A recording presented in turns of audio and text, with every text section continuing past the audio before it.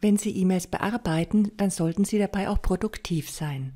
Beim One-Touch-Prinzip fassen Sie jede E-Mail nur einmal an und anschließend ist sie aus dem Posteingang verschwunden.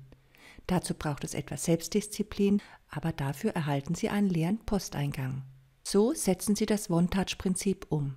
Beschäftigen Sie sich mit jeder neuen E-Mail nur einmal.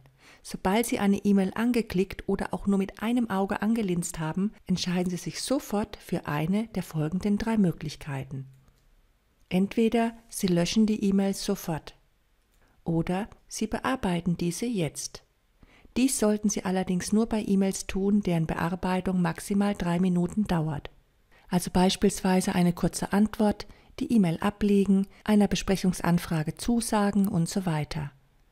Auch E-Mails, die dringend und auch wichtig sind, bearbeiten Sie sofort, selbst wenn diese länger als drei Minuten dauern. Und dann gibt es noch die E-Mails, deren Bearbeitung länger als drei Minuten dauert und die nicht sofort erledigt werden müssen. Deren Erledigung planen Sie zu einem späteren Zeitpunkt. Entweder mit einer Aufgabe oder mit einer Nachverfolgung, wie Sie es im Video Aufgaben organisieren gelernt haben. Wenn Sie eine E-Mail löschen, dann ist sie aus dem Postangang verschwunden. Wenn Sie allerdings eine E-Mail sofort beantworten oder deren Bearbeitung mit einer Aufgabe planen, dann ist die Originalnachricht immer noch im Posteingang. Beim Sofortprinzip geht es allerdings darum, zum einen jede E-Mail im Posteingang nur einmal anzufassen und zum anderen, dass die E-Mail anschließend aus dem Posteingang verschwunden ist. Möchten Sie die E-Mail aufbewahren, dann legen Sie diese nun ab. Wenn Sie mit der Einordnerablage arbeiten, dann klicken Sie nun auf den Archivieren-Befehl oder die Rücktaste auf Ihrer Tastatur. Wenn es nicht notwendig ist, die E-Mail aufzubewahren, dann löschen Sie diese nun. In der geplanten Aufgabe befindet sich ja eine Kopie davon. Und nun machen wir das Ganze mal live. Mal angenommen, jetzt ist die Blockaufgabe E-Mail-Bearbeitung dran. Ich habe mir dafür 30 Minuten eingeplant. Ich starte also mit der ersten E-Mail. Hier soll ich einen Entwurf prüfen und ergänzen. Das muss nicht sofort erledigt werden und eilt auch nicht so. Also erstelle ich mir eine Aufgabe.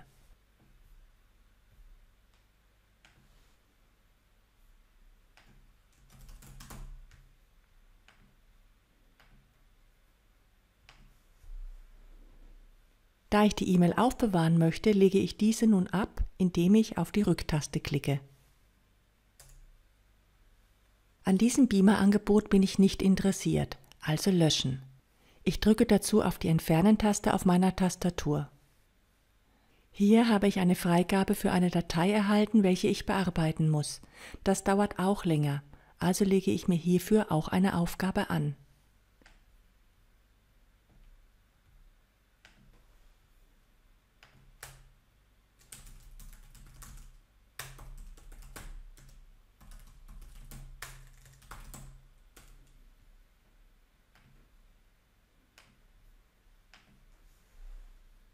Diese E-Mail möchte ich aufbewahren, deswegen lege ich sie ab.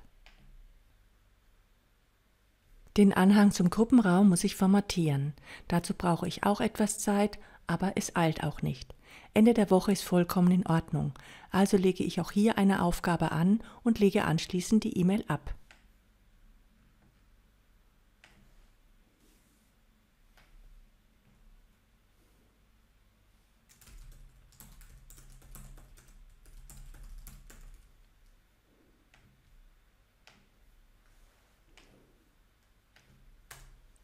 Und dann noch eine Rechnung.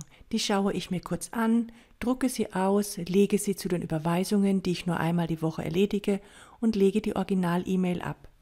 Und das alles unter drei Minuten. Und voilà, der Posteingang ist leer. Da ich mir ja eine halbe Stunde für die E-Mail-Bearbeitung geblockt hatte, nutze ich jetzt die restliche Zeit, um Aufgaben abzuarbeiten. Wenn Sie das One-Touch-Prinzip konsequent anwenden, werden Sie täglich einen leeren Posteingang haben. Natürlich werden Sie stattdessen mehr Aufgaben in der Aufgabenliste haben. Allerdings sind diese nun gut organisiert und Sie beschäftigen sich mit jedem Vorgang nur einmal. Es ist ein sehr befreiendes Gefühl, auf einen leeren Posteingang zu blicken und gut organisiert zu sein. Erleben Sie es.